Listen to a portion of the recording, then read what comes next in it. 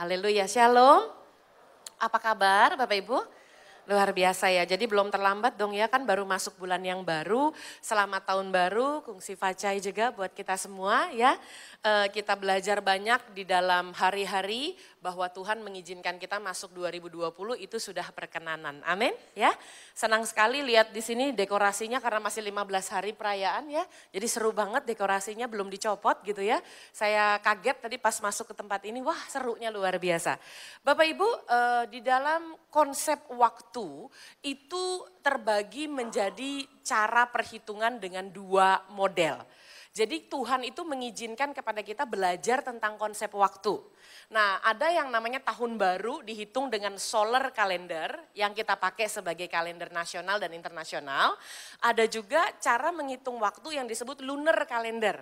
Makanya merayakan fungsi fajainya lunar kalendernya jadi jatuhnya di akhir bulan Januari. Tapi konsep waktu Tuhan mau kita belajar. Karena dengan adanya konsep waktu kita jadi bisa lihat progres.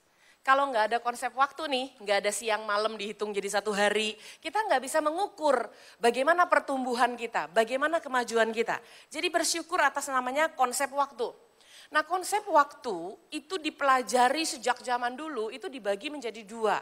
Satu, mereka menghitungnya cuma bisa lewat pergerakan benda angkasa besar yang namanya bulan dan matahari. Makanya hitungannya jadi dua yang menggunakan hitungan matahari disebut solar calendar. Makanya tanggal 25 Desember dari zaman saya baru lahir sampai tahun kemarin itu ditetapkan di kalender nasional sebagai hari Natal. Betul? Tanggalnya nggak rubah 25 Desember terus karena menggunakan solar calendar menghitung dari pergerakan matahari. Tapi beda sama Paskah. Paskah itu nggak bisa tetap tanggalnya, betul? Dari saya lahir sampai dengan tahun kemarin itu paskahnya beda-beda terus tanggalnya. Dan kalau paskahnya beda tanggalnya, berikut juga akan mengikuti Jumat Agungnya berbeda tanggalnya. Berikut juga akan mengikuti kenaikannya berbeda, pentakosanya berbeda, begitu tanggalnya gitu ya. Gak pernah sama kan, gak bisa dibilang itu tanggal berapa, nanti lihat dulu bagaimana kalender tahun depan udah keluar belum 2021. Baru dilihat nih paskahnya jatuhnya tanggal berapa. Biasanya kalau lihat-lihat kalender sudah mau liburan kan gitu ya. Nah berarti dia menggunakan perputaran benda angkasa kedua namanya bulan. Disebutlah lunar kalender. Slide-nya boleh dibukakan multimedia. Tetapi saya belajar satu hal, konsep dasar dalam perayaan tahun baru, entah itu menghitungnya lewat solar calendar maupun lewat lunar calendar, bahkan kita menggunakan kalender Ibrani pergantian tahun Ayin Tate kepada tahun P, itu 29 Agustus loh di antara solar sama lunar. Saya tidak mau satu hal harus pakai yang ini enggak, tapi konsep perhitungan tahun baru itu sama di mana-mana. Selalu menutup lembar yang lama dan membuka lembar yang baru. Jadi untuk saya kalau masih ada debat kusir yang menanyakan apakah orang Kristen boleh merayakan Sincia atau tidak, orang tersebut pasti jarang baca buku. Pasti jarang baca sejarah Kenapa? Karena lunar kalender memang ada. Jadi jangan berdebat kusir di sana. Karena ini Imlek adalah hari raya budaya, bukan hari raya keagamaan. Makanya saya taruh di situ Happy Chinese New Year nggak apa-apa, yang gambar tikus nggak usah. Jadi kita percaya hari raya budayanya karena kita united in diversity, berbeda-beda tapi tetap satu. Mitosnya nggak usah. Mitosnya nggak usah, kita nggak percaya ilmu astrologinya karena hidup kita ada di dalam tangan Tuhan, betul? Apalagi hidup kita ditentukan tikus, sama sekali tidak. Makanya budayanya adalah makan malam hari sebelum uh, sincianya, betul ya? Saya juga merayakan kok ya, papi saya Chinese, mama saya Manado. Jadi kami tuh merayakan sincia setiap tahun. Nah waktu merayakan malam sincia pasti kita kumpul makan. Budayanya adalah menyediakan 12 macam makanan harus berbeda. Karena itu dulunya ceritanya melambangkan 12 show. Anda nggak harus 12, apalagi melambangkan show. Masa iya Anda sajikan tikus? Kan nggak mungkin. Kita berdoa ya, nggak boleh orang Kristen nggak boleh masuk ke mitosnya. Ada yang mengatakan nggak boleh makan bakmi dipotong tuh nggak boleh, nanti umurnya nggak panjang. Coba bilang kanan kiri, lu jadi orang Kristen jangan bego-bego amat deh ya. Masa umur kita ditentukan sama bakmi? Makanya kalau lagi sinca tuh makan bakmi dipotong pakai gigi aja nggak boleh Bapak Ibu. Itu mitos. Jadi kalau bakminya panjang gimana makannya? Gitu kan ya, nggak boleh kepotong sama sekali. Nah itu mitos. Bapak Ibu budaya erat dengan mitos. Kita menghargai budaya, kita tidak percaya mitos. Karena kita percaya Tuhan. Ini bukan terjadi hanya untuk perayaan ini saja loh. Mitos tuh banyak sekali di Indonesia. Cerita dongeng itu banyak sekali. Alkitab bilang nggak boleh percaya sama dongeng nenek nenek tua gitu katanya firman Tuhan bilang. Bapak Ibu pernah dengar begini nggak istilahnya? Anak perawan itu nggak boleh duduk depan pintu, nanti susah jodohnya. Pernah dengar? Pernah ya? Kalau buat saya sih tergantung anaknya cakep apa enggak. Mau duduk di mana aja dia tetap laku. Terus kemudian pernah dengar ini, kalau nyapu itu harus bersih anak perempuan. Kalau anak perempuan nyapunya nggak bersih, suaminya nanti berewokan, katanya gitu ya. Bapak Ibu saya nyapu tuh dari dulu kata mama saya kurang bersih. Jadi selalu diomongin begitu zaman dulu mama saya belum mengenal Tuhan. Jina nanti dapat suami berewokan loh. Aduh puji Tuhan hari ini saya dapat suami licin banget. Sama ini gimana sih caranya biar berewokan gitu loh. Enggak licin banget gitu ya. Tapi saya mau katakan mitos kita tidak percaya, budaya kita hargai. Amin. Nah ini doa saya, bahwa memasuki tahun baru dalam dimensi yang baru, entah menghitungnya lewat solar calendar atau lunar calendar atau kalender Ibrani, yang saya doakan adalah perkenanan Tuhan itu menuntun kita melewati segala keterbatasan kita. Dan menolong kita bangkit lebih tinggi karena mau masuk dalam ukuran baru kan. Mau masuk dalam dimensi yang baru. Jadi menolong bangkit lebih tinggi di atas kelemahan sehingga hidup kita itu jadi tanda Mujizat. Ayo jujur di hadapan Tuhan, siapa yang 2019 sering dibelain sama Tuhan? Udah salah tapi masih dibelain sama Tuhan. Ayo jujur. Saya pernah buat kesalahan di 2019, cukup fatal. Minta ampun sama Tuhan, mestinya saya bayar harganya. Tapi saya dibelain Tuhan. Siapa 2019 mestinya nggak layak di posisi itu, tapi engkau diangkat Tuhan. Siapa 2019 mengalami engkau ditolongin sama Tuhan berarti hidup kita adalah tanda mujizat. Amin. Tahu lagunya? Hidupku menggenapi firmanmu, tanda mujizat tiap langkahku, kau bersamaku di dalamku, jadi bukti kebesaranmu. Amin. Kasih salam kanan kiri bilang kamu tuh tanda mujizat Tuhan.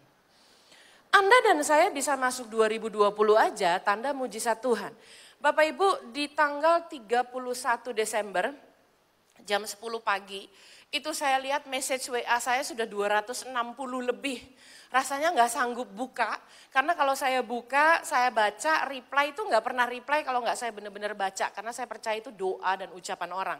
Jadi nggak boleh tuh ngeblas begitu aja tanpa baca. Terus saya pikir aduh gimana ya 260 lumayan juga ngebacanya gitu kan satu-satu. Saya pikir nantilah uh, agak sorean saya baca gitu ya. Tapi jangan sekarang karena masih tanggal 31 Desember pagi saya duduk berdoa bersama dengan keluarga sebelum acara nata, uh, tutup tahun di gereja saya. Lalu kemudian jam 4 sore itu bunyi terus, bunyi terus sampai tas itu gemeter terus karena saya vibrate. Gemeter terus, bunyi terus, bunyi terus. Ternyata orang yang mengucapkan selamat tahun baru dengan doa yang begitu indah luar biasa di jam 10 pagi, jam 4 sore berpulang ke rumah Bapak. Jadi beliau tidak sempat masuk ke tahun baru. Padahal begini bunyi message-nya. Ibu Jina, selamat tahun baru, selamat memasuki dimensi yang baru. Bersama-sama melayani Tuhan lebih lagi. Yuk sama-sama kita masuk dalam dimensi yang baru. Kita pokoknya lebih lagi dengan ukuran yang baru. God bless you and your family. Amin. Tapi ternyata jam 4 sore beliau berpulang ke rumah Bapak. Jadi artinya diucapkan selamat tahun baru tapi nggak sempat masuk tahun baru. Coba tanya sama kanan kiri, kamu tuh sempat masuk sampai sudah bulan kedua loh hari ini. Itu berarti tanda mujizat Tuhan. Bapak Ibu kita harus tahu ada dua hari yang tidak kita kuasai, yaitu hari kemarin dan hari esok. Bapak Ibu tidak bisa menguasai hari kemarin karena sudah lewat. Anda mau doain, mau puasain, nggak bisa balik itu hari, beneran deh. Puasa terus nggak makan, nangis sama Tuhan minta balik hari kemarin, nggak bisa. Yang kedua adalah kita nggak menguasai besok, betul? Kita nggak pernah tahu umur kita sampai kapan. Jadi hiduplah benar di hadapan Tuhan. Amin. Nah kalau kita sudah tahu, mari kita lihat sama-sama. Saya dapat remanya justru di sini Bapak Ibu. Jadi saya senang banget ini. Wah luar biasa. Dekorasinya masih ada dekorasi uh, sincianya. Imlek itu adalah hari raya budaya, bukan hari raya keagamaan. Jadi Imlek itu awalnya sejarahnya gini, diperingatinya sebagai hari tanda berbagi menyambut festival musim semi. Lihat tuh, musim semi festivalnya begini, makanya bunganya begini-begini di mana-mana. Tapi jangan tanya Imlek sama Xinjia di China. They don't even understand apa itu Imlek, apa itu Xinjia. Karena kata Imlek dan kata Xinjia itu adalah hasil peranakan Tionghoa di Indonesia yang menyebutnya sebagai Imlek dan Xinjia. Anda bicara sama orang Tiongkok, selamat hari Imlek gitu, dia nggak ngerti Imlek itu apa. Dia nggak ngerti Xinjia itu apa. Mereka merayakannya sebagai menyambut festival musim semi yang dalam bahasa Mandarin, maaf kalau logat saya salah, disebut Chenyi. Artinya adalah dengan sukacita beres winternya, mengakhiri musim dinginnya, lalu dengan sukacita dapat kesempatan kebersamaan bersiap-siap untuk musim menabur. Bapak Ibu ini kerennya, saya waktu persiapan ini saya bilang Tuhan engkau luar biasa ya. Ini lagi Imlek aja Tuhan ingatkan luar biasa. Bapak Ibu hari raya budaya bukan hari raya keagamaan, persis sama Thanksgiving. Bapak Ibu tahu hari Thanksgiving? Kamis keempat bulan November. Kamis minggu keempat bulan November dirayakan sebagai Thanksgiving. Begini sejarahnya, 1621 tahun 1621 itu itu kan semua tanah tuh nggak ada subur-suburnya sama sekali.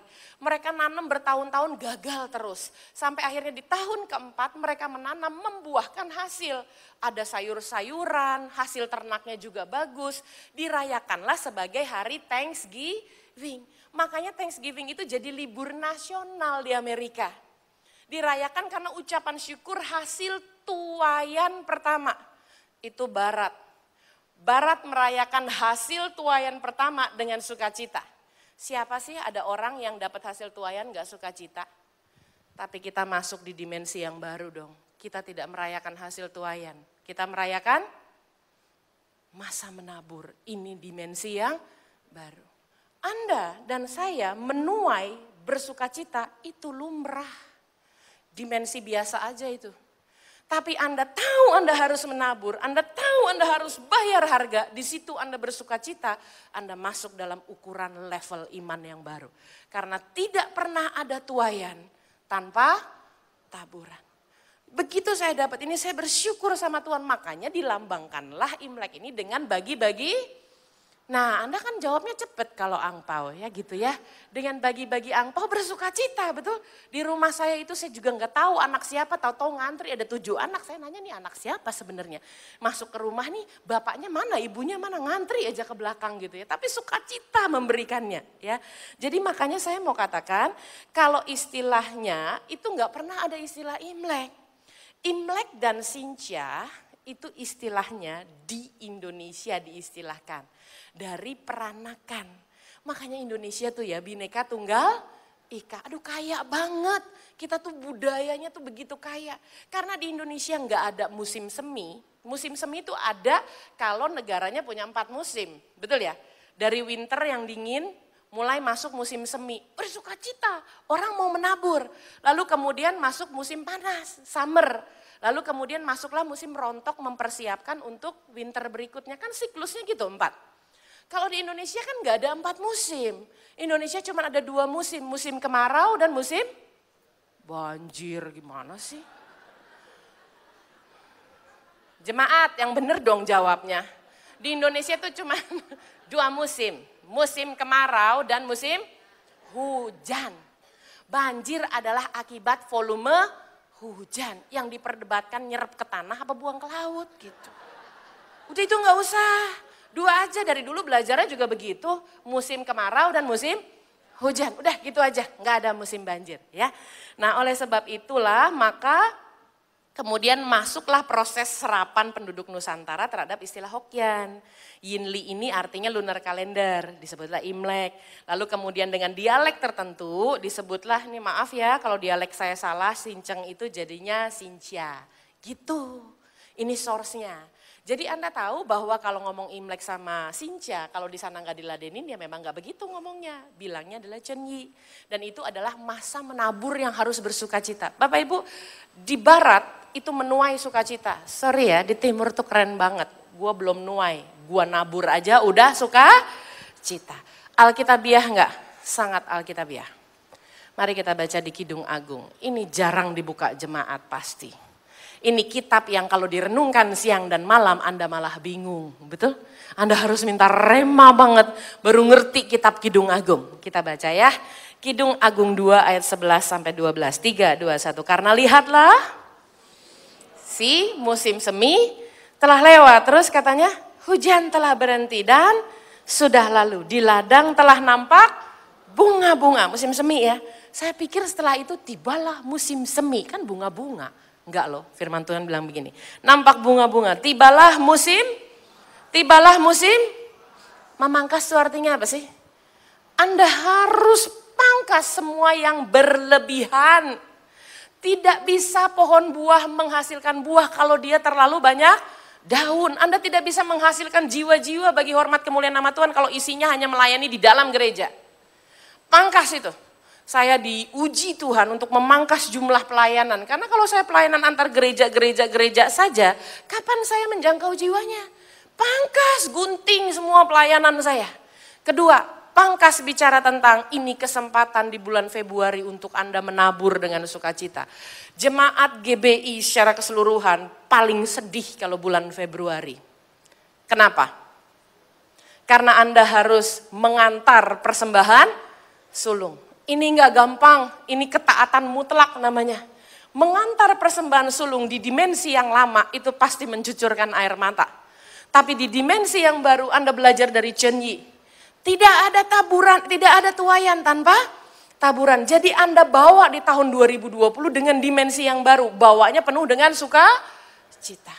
Ini baru masuk dalam dimensi yang baru. Lagi pula masa untuk musim-musim berganti. Itu secara alkitabiah memang sudah ulang kali terjadi selama bumi ini masih ada. Kita lanjutkan tadi ya. Tibalah musim memangkas, bunyi tekukur terdengar di tanah kita. Kejadian 8 ayat 22 yuk. Selama bumi masih ada, apa katanya? Aduh, nggak akan berhenti, takkan berhenti-henti dua kali lagi nulisnya, takkan berhenti-henti. Musim menabur dan menuai itu pasangannya ya, dingin dan kemarau dan bilang kanan kiri bukan banjir ya. Kemarau dan hujan itu Alkitabiah ya, kemarau dan hujan, siang dan malam. Bapak Ibu saya harus bicara ini, karena nggak gampang, bicara persembahan sulung tuh nggak gampang tapi saya kasih tahu Bapak Ibu, Anda tidak akan pernah mampu membawa persembahan sulung kalau Anda tidak memangkas keinginan daging. Selama engkau masih punya keinginan daging, engkau akan berkata, enggak cukup dong Tuhan. Enggak bisa dong Tuhan bawa persembahan sulung. Jadi hidup kita enggak jadi tanda mujizat. Kan tadi lagunya ada. Hidupku menggenapi firmanmu. Enggak setengah menggenapi. Menggenapi itu totalitas seluruhnya termasuk membawa persembahan sulung. Saya mau sampaikan kepada Anda prinsip menuai supaya Anda tahu. Saya banyak belajar dari Word of Wisdom ini yang disampaikan oleh Robert Louis Stevenson. Dia katakan begini, Do not judge each day by the harvest you reap, but by the seeds you plant. Yuk kita baca Indonesianya yuk. Jangan menilai setiap harimu dengan panen yang engkau tuai, namun dengan makanya harusnya sih Harusnya sih bersuka citanya bukan saat nuai. Harusnya sih bersuka citanya saat menabur. Masuk dalam dimensi yang baru. Makanya waktu kita katakan hidup kita menggenapi firman Tuhan, itu kita baca sekali lagi sama-sama ya. Iman timbul dari pendengaran. Saya tahu nggak gampang. And it's normal untuk berkata, aduh sulit sebenarnya. Saya pun pernah mengalami itu kok. Saya pernah mengalami tidak sepenuhnya. Saya pernah membawa sebagian, dulu nggak pernah bawa sama sekali. Bawa sebagian kecil, lalu bawa sebagian setengah, lalu bawa sebagian besar. Sampai iman saya berkata bahwa nggak bisa lagi. Saya harus sesuai firman Tuhan. Dan saya bawa sepenuhnya buat hormat kemuliaan nama Tuhan. Lumbung saya benar-benar nggak pernah kosong. Mari kita baca ya Amsal 3 ayat 9 10. Muliakanlah Tuhan dengan hartamu dan dengan hasil pertama dari bukan sebagian penghasilanmu tapi dari segala penghasilanmu supaya kita nggak merubah firman Tuhan. Yuk, maka lumbung-lumbungmu akan diisi penuh sampai melimpah-limpah dan bejana pemerahanmu akan meluap dengan air buah anggurnya. Orang tuh bingung loh Bapak Ibu. Ekstrim banget bawa semuanya. Apa cukup? Cukup. Makanya saya katakan benar-benar kejadian. Ayo nyanyi lagi sama-sama ya. Hidupku menggenapi firmanmu. Yes Lord. Tanda mujizat sertai. Amin. Kau Allah Immanuel. Kau bersamaku di dalamku. Jadi bukti kebesaran. Amin. Anda mau ini digenapi dalam hidup Anda dan saya? Amin lakukan, genapi firman Tuhan. Baru deh ayat emasnya, the year of new dimension, 2 Korintus 3 ayat 18, itu benar-benar kejadian. Bagaimana kita bisa berkata bahwa kita mencerminkan Kristus kalau kita melakukan firmannya setengah? Impossible. Anda bisa mengatakan 2 Korintus 3 ayat 18, saya mencerminkan kemuliaan nama Tuhan. Kalau Anda dan saya menggenapi seluruh firman Tuhan membawa segala persembahanmu, bukan sebagian. Saya tahu ini nggak gampang, tapi bisa kalau kita pelajari bersama-sama. Ya, oleh sebab itu kita lihat sama-sama kita baca sekali lagi ya, dan kita semua mencerminkan kemuliaan nama Tuhan. Ini spesifik banget nih, dengan muka yang tidak, udah nggak usah sedih-sedih banget. Ini kesempatan untuk kau menuai. Yuk lagi yuk. Dan karena kemuliaan itu datangnya dari Tuhan yang adalah Roh, maka kita diubah menjadi serupa dengan gambarnya dalam kemuliaannya yang semakin besar. Justru saya garis bawahi kata semakin. Kata semakin itu bicara tentang kemajuan, tentang progres. Contoh ya, saya mau mendekatkan diri ke keyboard itu. Jina semakin lama, saya menggunakan kata ini, semakin dekat kepada keyboard itu, keyboard itu. Jadi Jina semakin dekat. Kata semakin itu bicara tentang pergeseran. Kata semakin itu bicara tentang progres. Sama kalau saya di sini, Jina semakin menjauhkan diri, semakin jauh dari keyboard tersebut. Artinya 2020 adalah tahun pergeseran bagi kita semua. Saya berdoa supaya ulangan 28 sebagai ayat emas kunci kedua. Kita punya ayat emas ada dua tahun ini. 2 Korintus 3 ayat 18 dan ulangan 28. Saya berdoa supaya kata semakin itu dengan pergeseran itu digenapilah ulangan 28 kita bersama bergeser ke atas. Hidup kita semakin naik dan tidak turun. Jadi kepala dan bukan ekor. Masuk dalam ukuran yang lebih baru, ukuran yang lebih besar, dimensi yang lebih baru. Sehingga hidup kita selalu terupdate. Bapak Ibu percuma kalau kita masuk dalam tahun yang baru, dalam musim yang baru, tapi kita masih dengan cara yang lama. Kita harus masuk dengan update yang baru. Update itu wajib itu harus sifatnya sebelum Anda dan saya di-upgrade Tuhan. Hati-hati ya, mirip loh. Update itu artinya adalah diperbaharui. Bahasa Inggrisnya lebih enak up to date. Berarti diperbaharuinya tiap-tiap hari. Baca firman tiap hari. Ditegur Tuhan tiap hari. Dikoreksi sama Tuhan tiap hari. Makin cinta Tuhan tiap hari. Itu namanya up to date. Kalau baca firmannya cuma seminggu sekali, namanya up to week. Kalau Anda berdoa, masuk dalam devotion time-nya sebulan sekali, namanya up to month. Tapi yang dibilang update adalah tiap-tiap hari. Artinya adalah hidup Anda dan hidup saya selalu diperbarui tiap hari sehingga hidup kita relevan. Relevan itu artinya menjawab kebutuhan. Artinya pertanyaannya adalah saya taruh di warna hitam. Sudahkah hidup kita senantiasa up to date, diperbaharui dengan firman Tuhan? Apa seminggu sekali? Tunggu dibacain pembicara. Tapi kita harusnya up to date tiap-tiap hari. Kalau kita update, gambar 2020-nya digeser ya. Terjadi pergeserannya ke atas karena iman kita akan tetap naik dan tidak turun. Jadi kepala dan bukan ekor. Baru terjadi upgrade. Sorry Bapak Ibu, sorry banget. Upgrade tidak mungkin terjadi kalau Anda jarang update sama Tuhan. Bagaimana mau dinaikkan sama Tuhan? Orang ngerti isi hatinya Tuhan aja enggak. Berarti nomor satu up to date. Yang kedua baru Anda upgrade. Nah upgrade itu ayat di sebelahnya kita baca sama-sama ya. Ini tahun P, deklarasi lewat mulut terjadi karena percaya. Kan gitu tadi ya. Kita baca yuk, Tuhan akan mengangkat engkau jadi kepala dan bukan menjadi ekor. Engkau akan tetap naik, amin, dan bukan turun. Apabila engkau mendengarkan perintah Tuhan Allahmu, yang kusampaikan pada hari ini, kau lakukan dengan setia. Dan apabila engkau tidak menyimpang ke kanan atau ke kiri dari segala perintah ya, bukan dari sebagian perintah, dari segala perintah yang kuberikan kepadamu pada hari ini dengan mengikuti Allah lain dan beribadah kepadanya. Bapak Ibu di bulan Desember saya agak sering ke sini tapi bukan untuk jam 2 jam 4.30 sama jam 6 gitu ya. Saya nggak tahu pengaturan jadwalnya kebetulan atau bagaimana, tapi sering sekali ke sini. Jadi di ibadah 16.30 dan ibadah 18.30 di bulan Desember saya sudah sampaikan tentang dimensi, tetapi belum di sini. Multimedia balik lagi. Saya jelaskan dengan singkat ya bagi Anda yang belum paham tentang dimensi. Pak Niko berkata dimensi bicara tentang ukuran, panjang, tinggi, dalam, lebar. Pak Niko sebut ini, isi dan luas. Paniko sebut isi dan luas kalau Anda dengar dengan baik pastor message. Panjang, tinggi, lebar, dalam, isi dan luas. Bentuknya seperti apa? Pada saat 1 sampai 15 Desember saya puasa, ada empat kata ini keluar seperti running text di pikiran saya saat saya berpuasa. Jina pandang, perhatikan, lihat, tarik pembelajaran. Pandang, lihat, tarik pembelajaran. Saya duduk di ruangan doa saya, saya buka Yesaya, saya pikir ayatnya dari Yesaya Bapak Ibu Ternyata saya menemukannya di Amsal 24 ayat 32, exactly that word. Yuk kita baca yuk.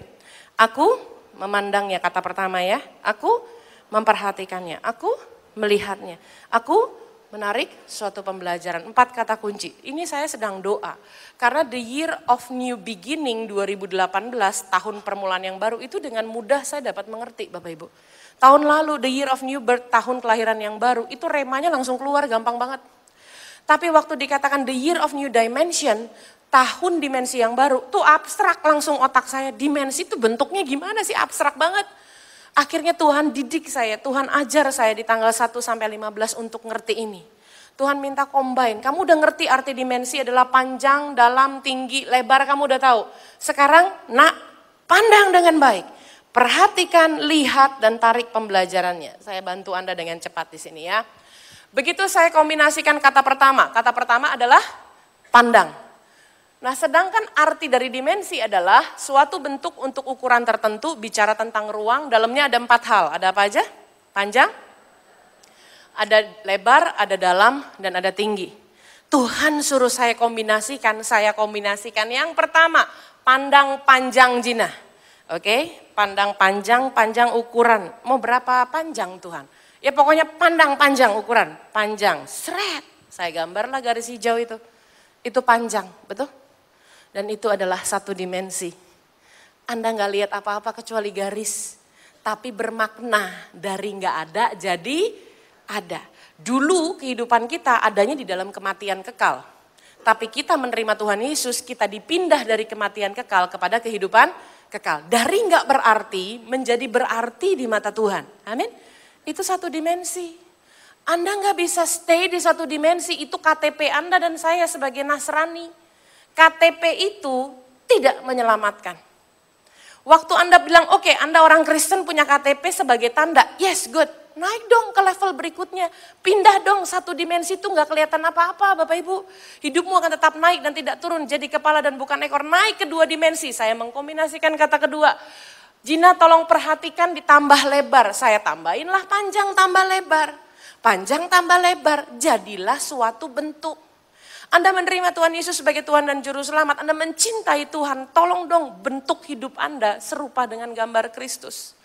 Anda sudah mulai ada bentuknya, tapi itu masih dua dimensi. Naik lagi ke level berikutnya, upgrade. Karena Anda mengupdate diri Anda tiap-tiap hari. Naik lagi sekarang kombinasi kata ketiga, lihat ditambah panjang, tambah lebar, tambah dalam. Dia sudah membentuk ruang. Itu namanya tiga dimensi. Lebih real hidup Anda. Belum selesai. Yang terakhir disuruh tarik suatu pelajaran. Ditambah panjang, lebar, dalam, tinggi, empat dimensi. Begitu real luar biasa. Jadi tahun ini Tuhan minta kita menghadirkan surga di bumi secara real lewat kehidupan kita. Bapak Ibu pernah nonton empat dimensi? Siapa pernah nonton? Ada orang masuk dalam ruangan nonton empat dimensi, seru banget dia teriak, wah ketawa seru. Kita nggak bisa ngerti tuh, karena kita cuma memperhatikan. Kita baru bisa ngerti kalau kita masuk di dalamnya dan mengalami, betul? Empat dimensi itu real banget. Anda lagi naik jet coaster, Anda kayak lagi di dalam jet coasternya. 18 tahun yang lalu saya pernah di USG dua dimensi. Ya zaman dulu kan ya teknologinya anak pertama saya di USG dua dimensi hitam putih masih warnanya. Lalu kemudian kehamilan saya itu di USG karena saya empat tahun berusaha punya anak baru dapat empat tahun. Dokter bilang gini, aduh selamat ya Bu Jina anaknya laki. Saya bilang dok ini masih lima bulan. Udah kelihatan tuh lagi dadah-dadah. Saya udah begini-begini loh Bapak Ibu. Mana dadah-dadahnya nggak kelihatan karena hitam putih. Lalu kemudian saya bilang dok Hmm, coba deh bulan depan deh 6 bulan atau pas di 7 bulan di USG lagi. Di USG lagi 6 bulan dan 7 bulan confirm anak saya anak laki. Dan di situ dokter bilang, tuh anaknya kedip-kedip, bagaimana bisa lihatnya kedip-kedip? Hitam putih buat saya. Puji Tuhan, 18 tahun yang lalu lahirlah Maria Melisa, anak perempuan saya. Gitu loh kalau dua dimensi.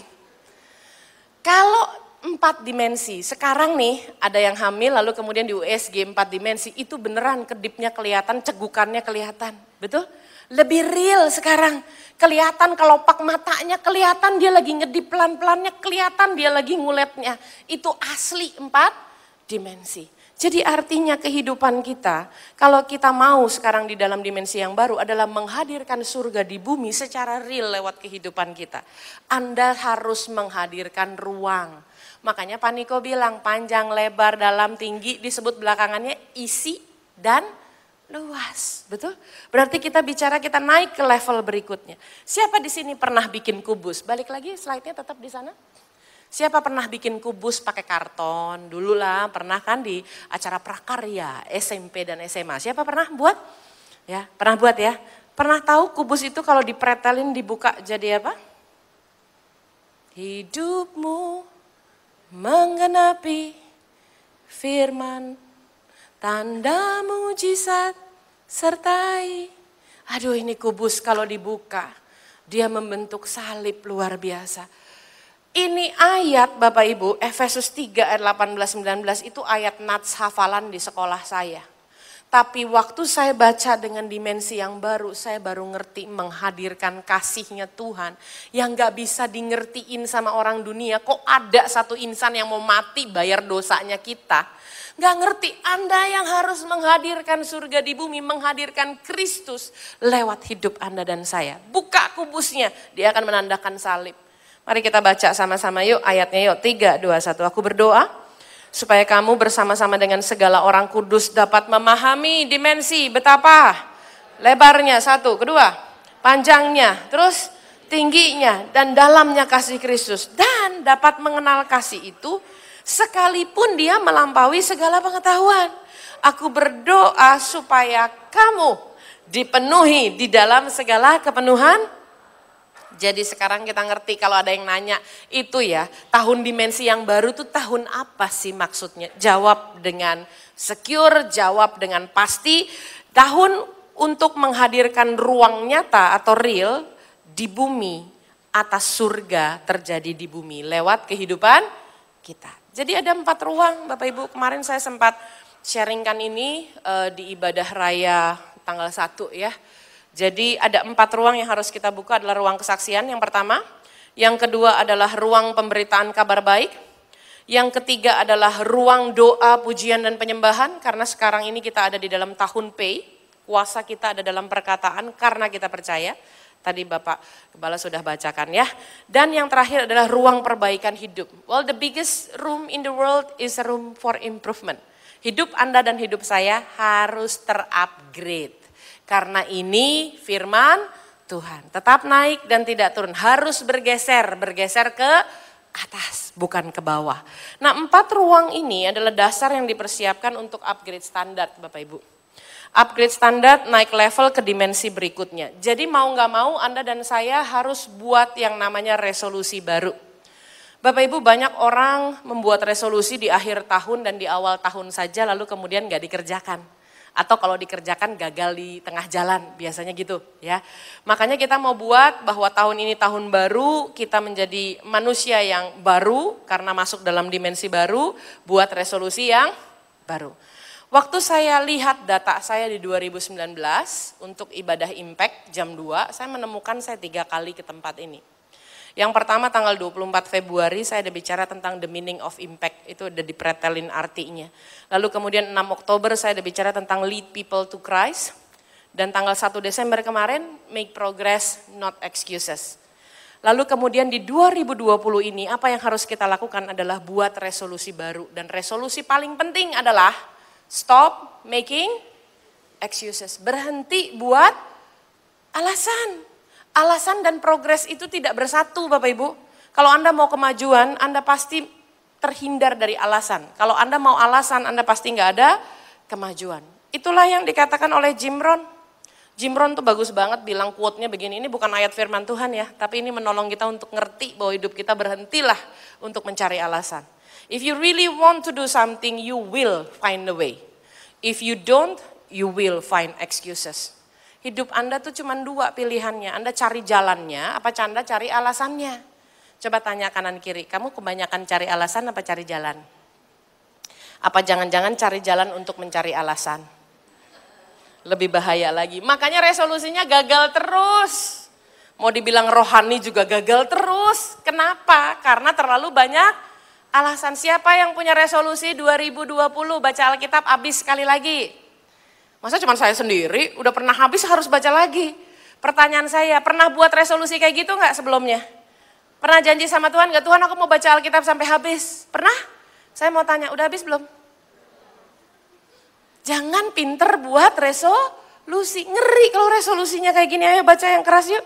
Resolusi saya di tahun 2020 adalah menyelesaikan resolusi tahun 2019. Yang telah tahun berapa tuh? Terus kemudian telah didoakan biar rohani kan ya. Mulai tahun yang sangat saya impikan bermula dari silam koma lagi. Belum kelar tuh. Gak kelar-kelar hidupnya. Bapak Ibu kalau Anda dan saya tahu bahwa Anda dan saya hidup itu berpegang kepada Allah Immanuel, Allah beserta kita, menuruti seluruh perintahnya, kita bisa bilang begini sama 2020. Dear 2020, I am ready. Amin.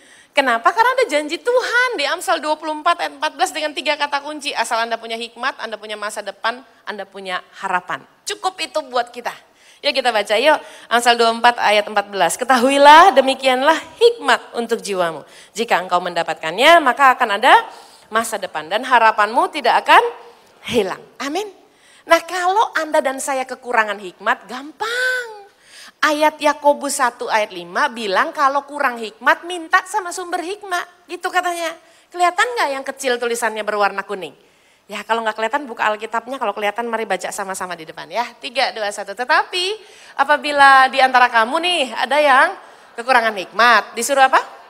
Hendaklah ia memintakannya kepada Allah yang memberikan kepada semua orang dengan murah hati dan dengan tidak membangkit-bangkit. Maka hal itu akan diberikan Nah kalau bicara masa depan, ini yang dipegang buat kita. Tahun P itu ini yang diucapkan dalam doa Anda dan saya. Masa depan kita jenisnya adalah yang tertulis di dalam Yeremia 29 ayat 11. Yuk baca tekan keras yuk. Sebab aku ini mengetahui rancangan-rancangan apa yang ada padaku mengenai kamu. Demikianlah firman Tuhan, yaitu rancangan amin dan bukan rancangan amin untuk memberi kepadamu hari depan yang penuh Nah kalau bicara harapan bahasa Indonesianya simple cuman tiga huruf A, S, A. Jadi orang yang sudah tidak punya harapan disebut juga orang yang putus asa. Asa itu kalau dibuka artinya coba sekali lagi. Jadi orang yang berhenti mencoba sekali lagi kategorinya orang yang putus asa. Bapak Ibu dengar dengan baik, kalau pernikahanmu hubungan keluargamu belum seperti yang kau harapkan terjadi di 2019, ayo coba lagi yuk 2020. Kalau perekonomianmu tidak seperti yang engkau prediksi di 2019, bukan ups and downs tapi downs and downs kayaknya. Coba lagi yuk di 2020. Hubungan orang tua dengan anak yang rasanya belum pulih di 2019, ayo coba lagi di 2020. Coba bilang kanan kiri, jangan putus asa tapi lakukan dengan dimensi yang baru. Saya mau tutup di sini ya. Nah bikin resolusi supaya nggak gagal. Ini kan ibadah impact nih. Pasti kan Anda bikin resolusi di kantor, bikin resolusi di pekerjaan, di keuangan, di keluarga. resolusinya dulu paham artinya ya. Jadi dalam Oxford English Dictionary dibilang resolution is the quality of a firm decision. Jadi nggak labil ya. To do or not to do something. Indonesianya yuk. Resolusi adalah kualitas dari sebuah keputusannya pasti untuk melakukan atau tidak melakukan sesuatu. Kesalahan orang bikin resolusi adalah cuman jago bikin untuk melakukan sesuatu. Bapak aku mau baca Alkitab lagi, aku mau doa fajar lebih rajin lagi. Itu to-do list. Kita lupa kita jago membuat to-do list, kita nggak pernah buat not to-do list. Kan pengertiannya to do and not to do. Ini nggak lumrah. Anda pernah dengar not to-do list? Nggak pernah ya? To-do list pernah dengar? Wah kita ke supermarket aja pakai to-do list. Betul? Siapa yang kalau pergi ke supermarket pakai catatan? Lah itu to-do list. Nomor satu, sayur gitu kan. Nomor dua, shampoo kan gitu. Nomor tiga, tahu itu to-do list. Anda jalan ke supermarket bawa to-do list. Jujur di hadapan Tuhan, pulang bawa apa? Saya nanya, nggak marah, nggak marah, nanya. To-do listnya nomor satu, sayur. Nomor dua, shampoo. Nomor tiga, tahu. Udah jelas ya tulisnya ya. Pergi ke supermarket, pulang bawa apa? Pulang bawa apa? Sepatu, selendang, kursi, enggak, enggak aja.